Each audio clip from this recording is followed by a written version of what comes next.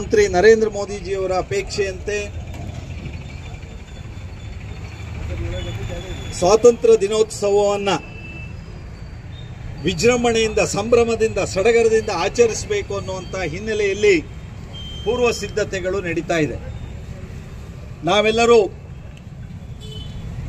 August ಹದಿನೈದಕ್ಕೆ ನಮ್ಮ ಎಪ್ಪತ್ತೆಂಟನೇ ಸ್ವಾತಂತ್ರ್ಯ ದಿನೋತ್ಸವವನ್ನು ಆಚರಿಸೋದಂತಹ ಹೊಸ್ತಿಲಲ್ಲಿ ಇದ್ದೇವೆ.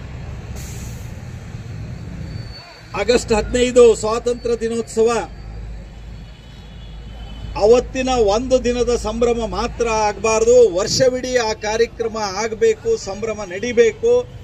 ನಮ್ಮಲ್ಲಿ ರಾಷ್ಟ್ರಭಕ್ತಿಯ ಭಾವನೆ ಸದಾ ಜಾಗೃತವಾಗಿ ಇರಬೇಕು ಮತ್ತು ಈ ಒಂದು ರಾಷ್ಟ್ರೀಯ ಜನಾಂದೋಲನದಲ್ಲಿ ನಾವೆಲ್ಲರೂ ಅತ್ಯಂತ ಸಮರ್ಪಕವಾಗಿ ತೊಡಗಿಸ್ಕೊಳ್ಳುವಂತೆ ಆಗಬೇಕು ಅನ್ನೋ ಕಾರಣಕ್ಕೆ ಈ ಅಭಿಯಾನವನ್ನು ನಾವು ಹಾಕ್ಕೊಂಡಿದ್ದೀವಿ.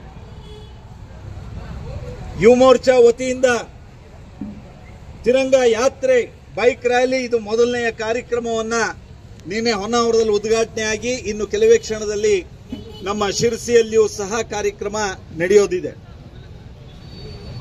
ಇವತ್ತು ನಮ್ಮ ರಾಷ್ಟ್ರೀಯ ಮಹಾಪುರುಷರುಗಳ ಛತ್ರಪತಿ ಶಿವಾಜಿ ಮತ್ತು ಗಾಂಧೀಜಿಯವರ ಮೂರ್ತಿಯನ್ನು ಸ್ವಚ್ಛಗೊಳಿಸಿ ಮಾಲಾರ್ಪಣೆಯನ್ನು ಮಾಡಿ ನಾವು ಈ ಬೈಕ್ ರ್ಯಾಲಿಗೆ ಇವತ್ತು ಚಾಲ, ಚಾಲನೆಯನ್ನ ಕೊಡ್ತಾ ಇದ್ದೇವೆ.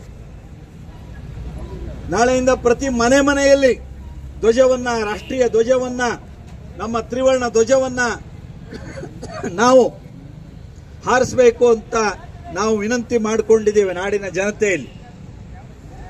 ಇದಲ್ಲದೆ ಆಗಸ್ಟ್ ಹದಿನಾಲ್ಕರ ರಾತ್ರಿ ಭಾರತದ ವಿಭಜನೆಯ ಕರಾಳ ನೆನಪುಗಳನ್ನು ನಾವು ಮಾಡಿಕೊಂಡು ಭಾರತಕ್ಕೆ ಸ್ವಾತಂತ್ರ್ಯ ಕೇವಲ ಮಾತಿನಿಂದ ಕೇವಲ ನಡೆದಿಲ್ಲ.